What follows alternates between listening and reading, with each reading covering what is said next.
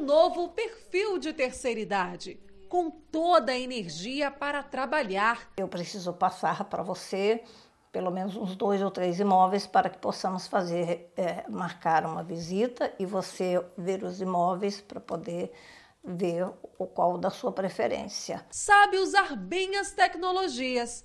Tem uma vida tão agitada que fica até difícil se desligar do serviço durante a entrevista. É trabalho eu não vivo pensando na minha idade, eu vivo pensando na minha capacidade, no que eu posso fazer de bom para mim.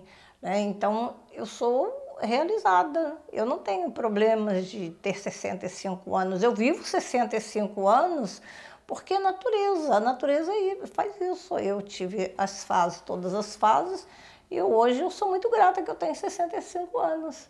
Uma vida totalmente ativa aos 65 anos é resultado de muita dedicação. Eu me preparei na minha alimentação, com a minha alimentação, com atividade física, tá?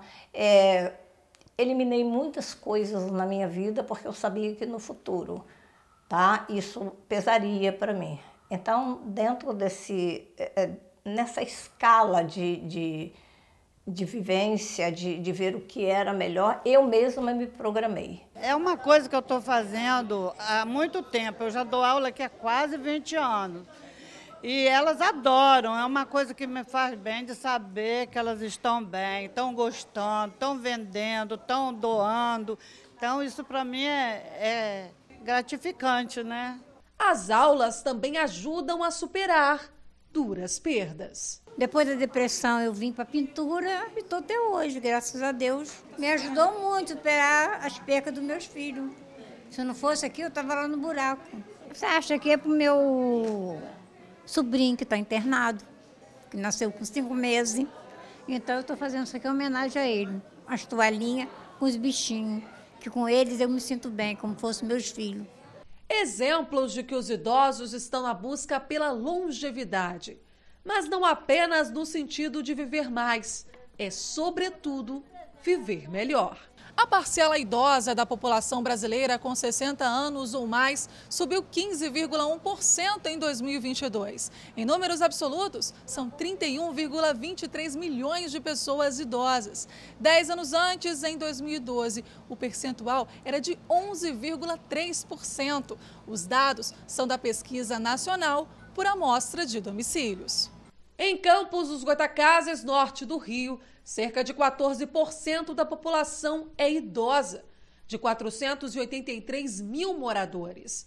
O governo municipal tem ampliado os serviços de atendimento aos idosos, pensando nesse aumento. Aqui na terceira idade, nós estamos aqui para abraçá-los, né? Está é, trazendo esse apoio apoio, esse dando esse carinho que eles tanto precisam para que eles possam estar vivendo uma vida mais feliz, mais alegre e também, por que não, através desses lindos trabalhos, eles poderem também estar tendo uma, uma renda extra. Apesar de uma sociedade que está mais velha e com uma queda de quase 6% de pessoas abaixo dos 30 anos, o etarismo ainda é uma lamentável realidade. E as pessoas nos incapacitam, elas querem nos incapacitar, porque acham que você tem 60 anos, você não tem mais capacidade, você ah, esquece porque você está velha, porque você está é, você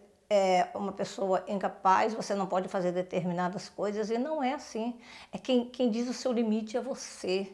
Né? Quem se limita é você. E eu não cheguei nesse estágio de me limitar. Eu não sou uma pessoa limitada.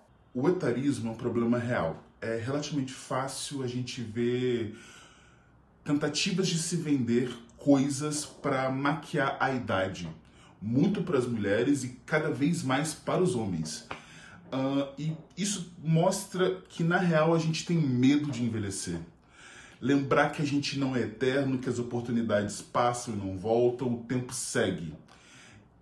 Esse é um temor tão natural para o ser humano que o livro mais antigo que se tem notícia, a Epopeia de Gilgamesh, escrito há 9 mil anos atrás, tem como tema central encarar o envelhecimento e a própria morte. Então, esse medo tão antigo, que é a finitude, ele movimenta a gente, porque tem muito disso. Eu tenho que fazer as coisas enquanto eu tenho tempo, enquanto é possível, enquanto eu tenho energia, vigor.